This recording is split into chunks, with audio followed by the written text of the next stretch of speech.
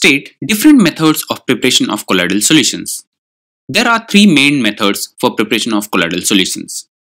Dispersion or size reduction, aggregation or condensation, and finally chemical methods. So dispersion. There are three possibilities. One is mechanical dispersion, electrodispersion and peptidization. First of all, the substance is powdered thoroughly. The finely ground substance is brought in the form of coarse suspension by shaking with the dispersion medium.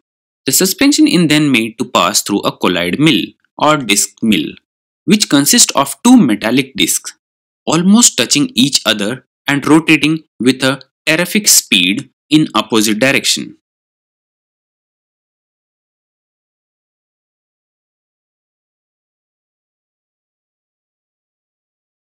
The suspension is thus subjected to a powerful shearing force resulting in the breaking of suspended particles to form particles of colloidal dimensions.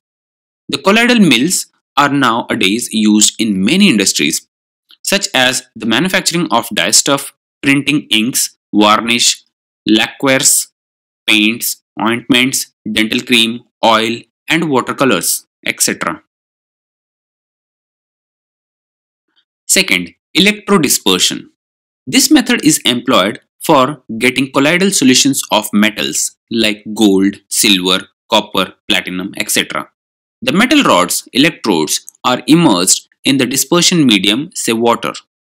An arc is struck between the two electrodes. As a result of powerful heat of arc, metal is converted into its vapors, which get condensed at once, the vessel being placed in ice-cold water bath, resulting in the formation of colloidal sized particle. To stabilize the solid, a small quantity of sodium hydroxide or potassium carbonate is added. Third, peptidation. It is the re-dispersion of the coagulated sol.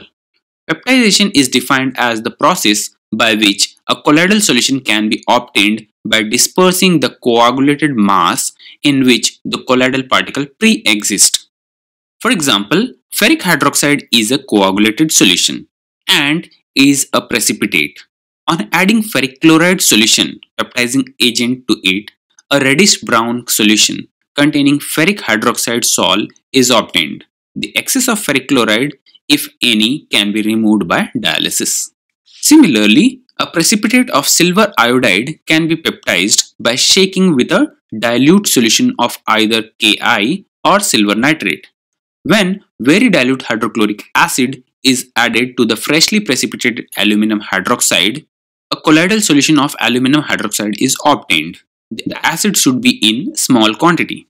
Now let's talk about the condensation or aggregation methods. There are two possibilities. One is excessive cooling. The method is employed to get colloidal solutions of ice in organic solvent like ether or chloroform. This is done by freezing a solution of water in the given solvent. The molecules of water can no longer be held in solution. They collapse together to yield colloidal sized particle.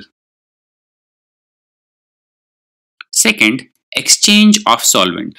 There are certain substances which are more soluble in one solvent as compared to another.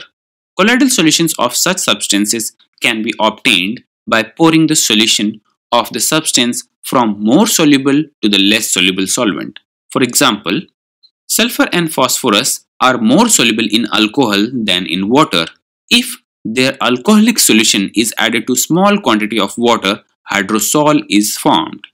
Phenolphthalein is soluble in alcohol but not in water.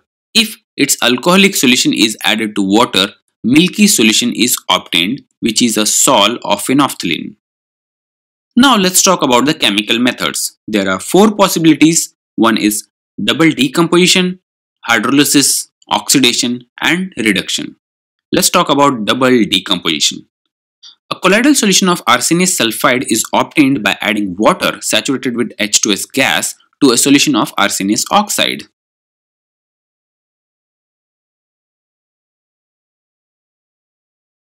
Hydrolysis.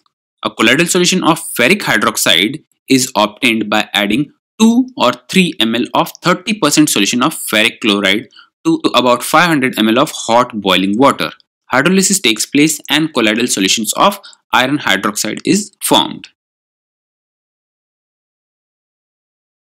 Oxidation A colloidal solution of sulfur is obtained by passing H2S gas through a solution containing some oxidizing agent, say dilute HNO3, or by passing H2S gas into a solution of sulfur dioxide in water.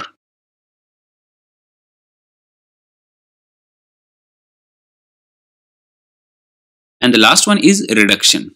A colloidal solution of gold, violet colored, may be obtained by adding stannous chloride solution reducing agent to a solution of gold chloride.